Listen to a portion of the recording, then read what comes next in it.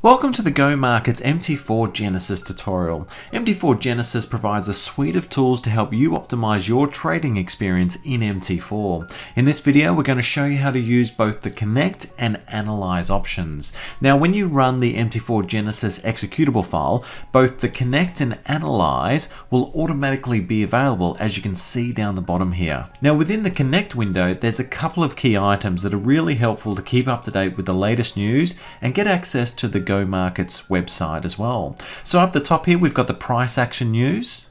And this gives you a number of key technical updates related to the price action across the currency pairs. Next, down the bottom left, we have both the news and the calendar. Now, the news items are feeds that you can actually bring into your MT4, allowing you to keep up to date with the latest news and information across all your currency pairs and general news items. Now with this you also have the ability to add a feed as you can see here and there's a couple of different news providers which you're able to select from. Next we have the calendar option just here, which enables us to have a look what the upcoming announcements are. Today's Thursday, the 7th of January, and as you can see the items are split up into high impact, medium impact and low impact events. If I wanted to select just all high impact events, then I just simply click on the drop down and click high impact. And then it will just show all those high impact events that are coming up. On the right hand side, we have options to connect to the gomarkets.com.au website and we can deposit funds, we can open a new live account, you can change the leverage on your account, you can check out the current promotions, and you can also chat live to one of the team members. And down below we also have the session map which shows us where the key FX fixes are including Sydney, Tokyo, London and New York. And as you can see we're just starting the London session now. Once again down the bottom there's a couple of color coded dots here representing the news items that are coming up including low impact, medium impact and high impact news events. Now, if we pop over to the Analyze button, we get a lot more information about our actual account. So if I click on the overview, it tells us a little bit more about our account, including our floating P&L, our close profit, the margin, margin in use, and the margin level. We can also see our cumulative profit. However, if I hit the drop down menu, you'll see that there's a whole range of statistics that we can actually plot as it relates to our trading account. So we can go through and plot our balance, daily profit, our equity, percentage return, profitability, the pips daily, weekly and monthly, the direction of the net profit, and so much more.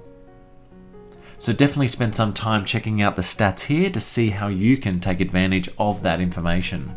On the right hand side we have the sentiment indicator as well so if you wanted to select just those currency pairs that you're really keenly watching then you can choose those here to see what the percentage of long versus short is across the markets. If I click on the settings you can see I can add a couple of other currency pairs in order to see what the sentiment is on those. Now if I scroll down the bottom a little bit further, you can see we've got some other key stats on the account, including total return, monthly return, weekly return, trade length in minutes and so on, profit factor, trades per day, and the history of the account. And then on the right hand side here, we can plot some key statistics across the currency pairs. So once again, there's a number of things that we can plot. So have a play around with this section to see how it can benefit you in your trading, to see how you can keep on top of the stats of your trading account. On the next tab, we have the analysis section, which enables us to analyze all the trades that we've actually completed, and it's got a number of key statistics across the individual trades, which is really handy when you're trying to keep on top of your trading stats for your account. So as you can see, as I scroll across, there's a number of statistics that we can get access to here all the way across winning pips, losing pips, net pips, average pips won, average win hours, so the time frames of the trade, and so much more. And you can also check out a couple of different things as far as the, the direction of the trade, the day of the week, and the day, and so on. Now the next tab that we have available to us is the Orders tab, which shows us all of our completed orders. And it gives us a running tally on those as well with a number of key statistics. Now what you'll notice with this is that the Orders tab is very similar to the Account History tab in the Terminal window down below here. So as you can see with the connect and analyze options, you have a lot of key information available at your fingertips. So be sure to jump in and review the key statistics of your trading account. We hope you found the information on the connect and analyze options useful and of course we look forward to seeing you in the next tutorial. Thank you.